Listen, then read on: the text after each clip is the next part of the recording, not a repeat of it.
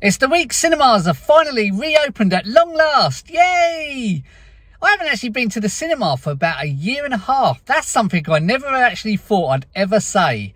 There's a few movies out this week, including Spiral, The Book of Saw, but I am off to see the new Angelina Jolie movie, Those Who Wish Me Dead. So pop along with me and we'll see how it all works now.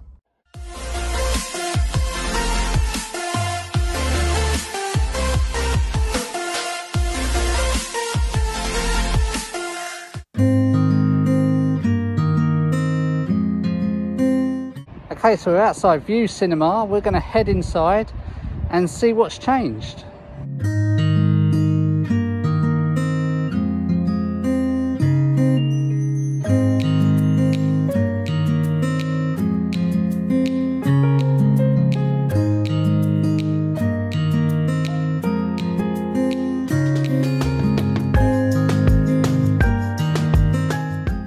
Okay, so here we go.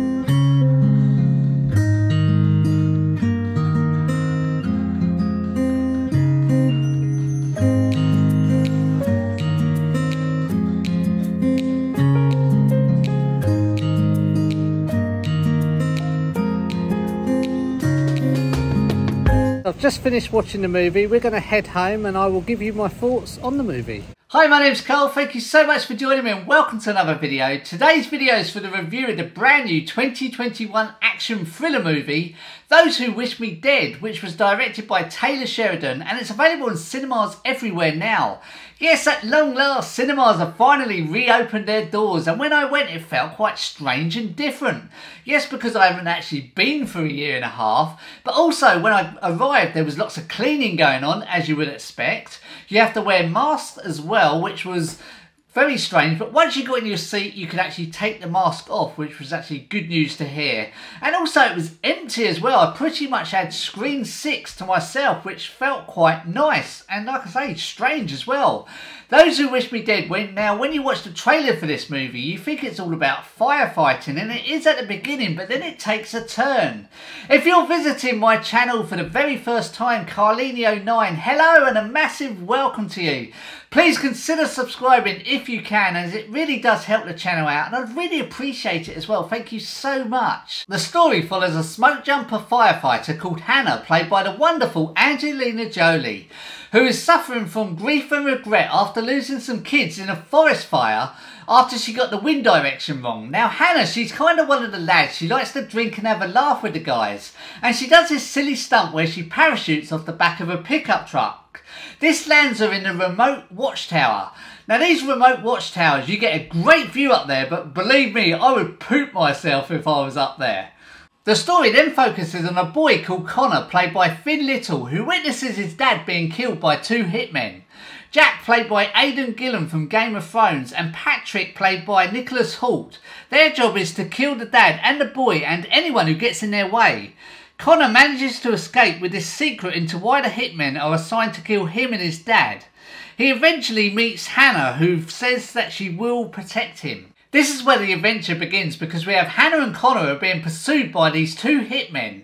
And their bid for survival, it just builds on that tension and makes it so tense. We also have this huge forest fire going on. And this just ramps up the danger and the sound from that forest fire through those cinema speakers just makes it. The movie also stars Jon Bernthal. You might recognise him from The Walking Dead. And we also have Jake Weber as well, who plays Connor's dad. This movie does have a very talented cast with some brilliant actresses and actors in there.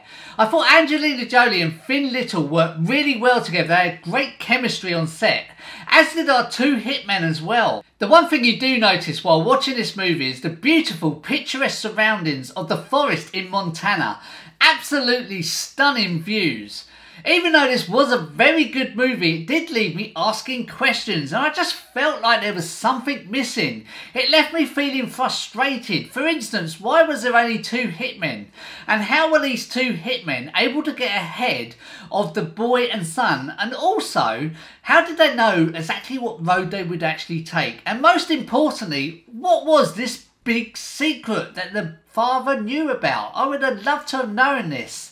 And one little thing, it's just very picky. There was these two huge forest fires, but we don't see any firemen holding a fire hose. There was just no fire hose in sight, just something little to pick at. I did like the way Taylor Sheridan directed this movie because we get to spend time with each character. Apart from Tyler Perry's character, he's meant to be like this big top main guy, but I feel he just didn't really need to be there because he's only in the movie for a few minutes.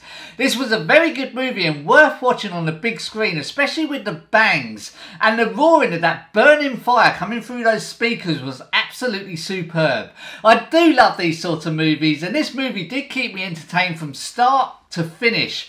But I just wish it didn't leave me asking questions about the movie.